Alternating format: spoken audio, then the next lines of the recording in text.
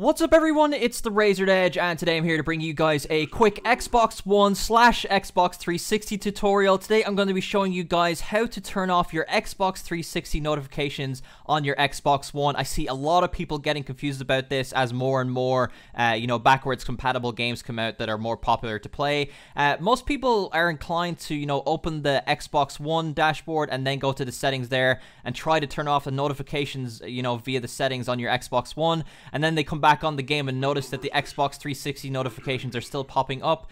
What a lot of people don't know is, is that you can actually bring up the Xbox 360 mini dashboard uh, to turn off your notifications and access messages and the party and things of that nature. And all you have to do to access that is just press the start and select button at the exact same time on your Xbox One controller instead of pressing the Xbox One guide button. And then just like normal, like you would have on your Xbox 360 back in the day, you just go to the right, go to preferences, notifications, and you know turn your notifications on and off there. And it's as simple as that. There's nothing more to it, and uh, you know you can uh, directly correlate with your friends who are on Xbox Live on their Xbox 360 using this mini dashboard. You can party up, you can message them directly, all that jazz. Uh, but it was a really quick tutorial, guys. I hope you found it helpful. It's a lot simpler than you think it might be. But if you enjoyed the video or found it helpful, be sure to drop a like, subscribe to my channel for more content like this, share the video around if you felt it really helpful, and I will see you guys next time.